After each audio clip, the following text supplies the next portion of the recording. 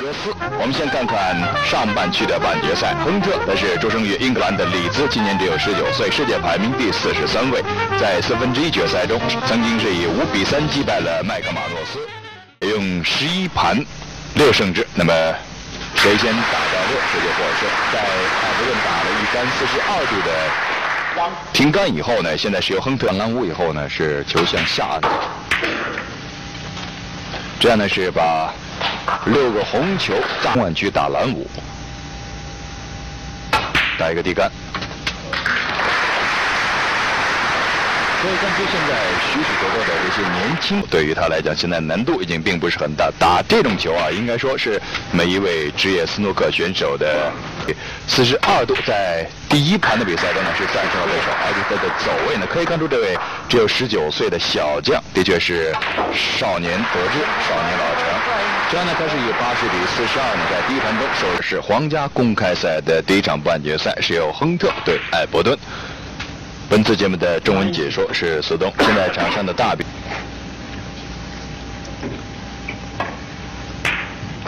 包中带带了高安区但是应该说这长距离的球对他应该难度并不是很大。果然。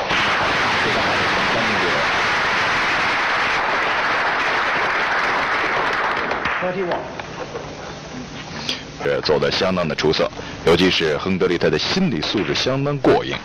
Forty-two。在另外一场半决赛，那么辛格斯呢是，辛格斯呢是世界排名第二的选手，那么排在第一位，七十度领先了对手，台面上只剩下了五十三度。Sixty-six。球被击落的话，那么埃弗顿呢基本上就要缴械投降了。果然。这个如果击落的话，那么对于阿斯顿来讲就输了。现在是双方呢是最终亨特会以六比一击败埃弗顿啊，争夺之战。哦，不但把这个黄球打进，而且把这个蓝的确啊是亨特打的如此之神。最终呢，他是打一个翻但没有翻进，但依然埃弗顿呢被对方淘汰出局。这样呢，最终是亨特以六比一击败对手以后进入到了决赛。他在。So Paul Hunter, 19 years old, ranked at number 43 in the world, and beat uh, Alan McManus in the quarters. As for John Higgins, well, world ranked number two, the 1997 German and European Open champion, totally on the table when they start. One.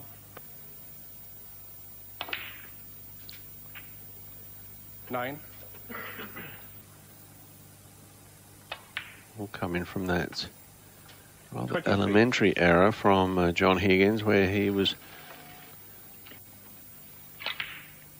This certainly looks promising at this stage for Six. Paul Hunter. A lot of chalk on their cues. 52. You ball at all. Misjudged it completely. 64.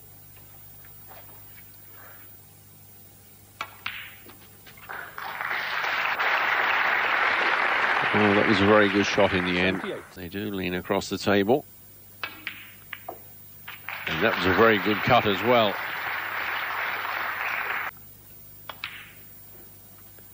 And a long pot there to the top pocket. 93. And this will bring up a break of 100 if he can sink it. And he can. Break of 120, and now the final ball to black. And a break of 127. And Paul Hunter. Players have broken in frame four. Hunter's at the table, but Higgins leading two frames to one. And now he comes up against the world's number two in John Higgins. Shot on the red there for the bottom pocket. 15. Steve Davis and Stephen Hendry have the most wins in the open era with two victories each in this tournament. And Steve.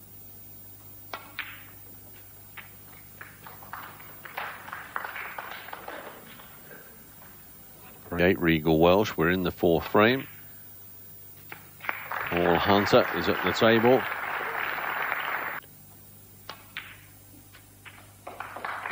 Higgins will know if he does get back to the table, he's going to need snookers.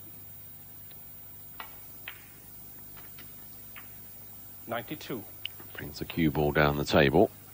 Again, this red to bring up the 100. Just the colours left. Not many of those now. Break of 112. Going to go for the blue. In the top pocket. It just doesn't fall. But he's wrapped up the fourth frame and he's wrapped up this final. Well, what a seesawing battle this has been. It was two frames all after the first four, and then Higgins took two, and then Hunter took two. Higgins took the ninth, Hunter took the tenth in the eleventh, and now Hunter leads by six frames to five. That was brilliant. Difficult shot. And saw them in the semi-finals against Mark King. We've seen them here.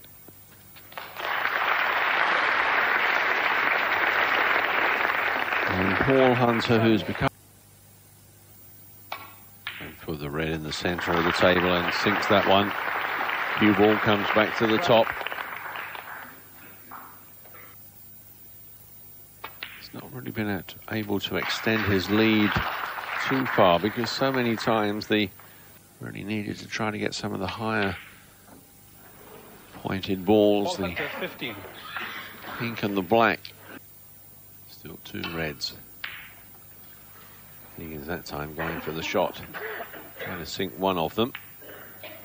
Fails to do so. Now Hunter. Yeah, perhaps try to play this along the top cushion. And he does, and it goes in. That's the last red.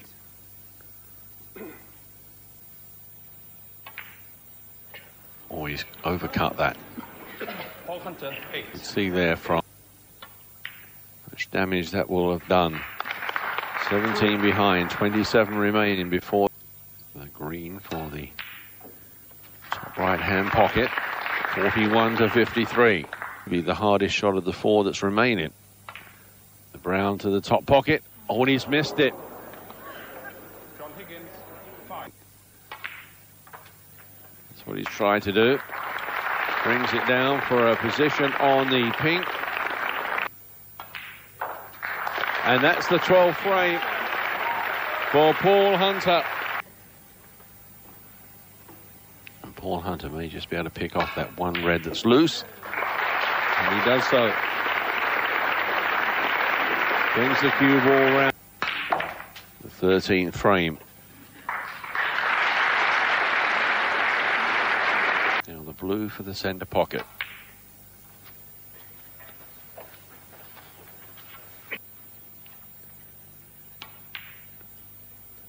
Another red disappears.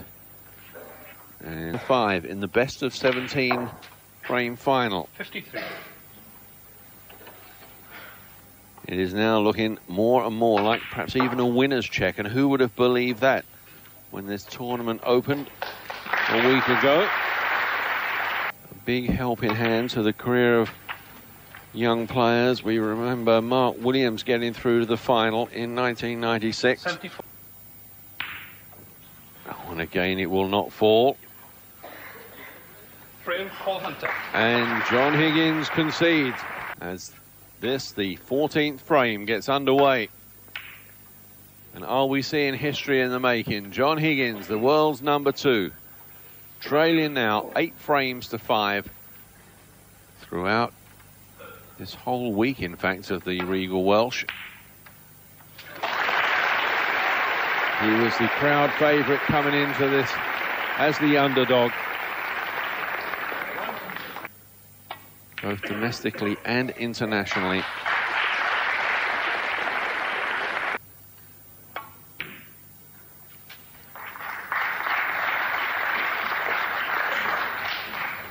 One, in all honesty, as I say, it hasn't been that sort of day for John Higgins.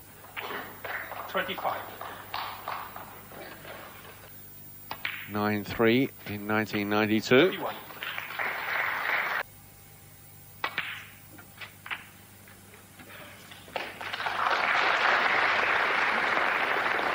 Blacks and one blue 63. so far. Now it's up to 63. I would expect, though, that he would just be so focused at the moment, knowing only sit and watch. Now he's taken the cue ball up the table, and that means that he could win the £5,000 bonus for the highest televised break. 85. Brings the cue ball down. Oh, that's brilliant. Another break of 100. John Higgins as he watches.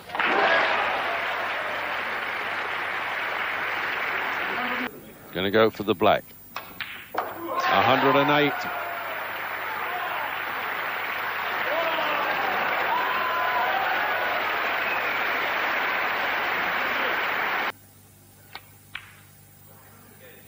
Doesn't fall.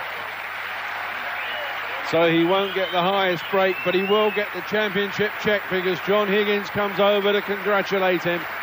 And the 19-year-old from Leeds wins the 1998 Regal Welsh Open here in Newport. His biggest payday ever. And the supporters and fans there stand and applaud. Some come over to congratulate him. So Paul Hunter, the Regal Welsh champion for 1998. Well, we'll continue to bring you the best of international snooker from all around the world, right here on ESPN, the worldwide leader in sport.